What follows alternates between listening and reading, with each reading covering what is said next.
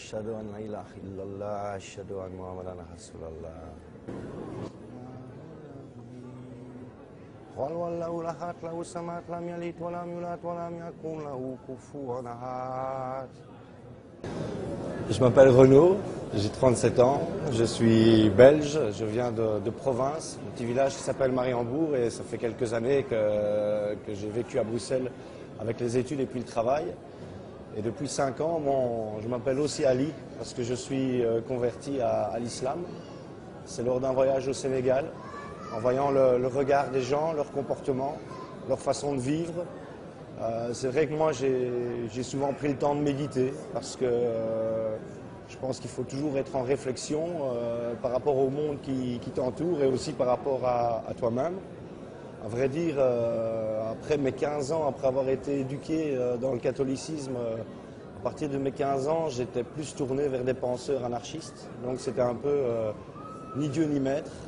Et puis voilà, c'est devenu un seul maître, Dieu, parce que j'ai découvert dans, l'islam une, vraie spiritualité profonde qui allait à l'encontre de tout ce que j'avais pu entendre jusque-là à travers les médias de, masse.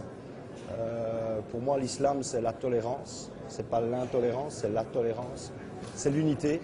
Euh, ça concerne tout le monde et pas seulement un groupe de, personnes.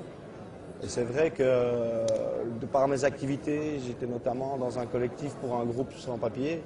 Euh, J'avais rencontré des, musulmans euh, durant ma jeunesse aussi. J'ai eu quelques amis musulmans, mais rien ne prédestinait à l'islam.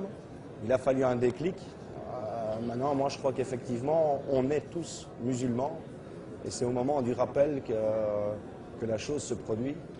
Et tout ce que je souhaite, euh, Inch'Allah, c'est que, c'est que les gens se posent les, bonnes questions plutôt que parfois être influencés par euh, tel ou tel discours euh, qui conduit euh, finalement à l'ignorance. Et essayer d'allumer un petit peu la, lumière et l'islam, c'est éclaire tout. بسم الله الرحمن الرحيم.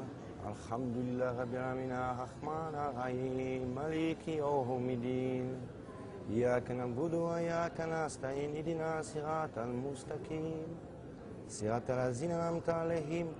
غير المغضوب عليهم ولا الضالين. آمين.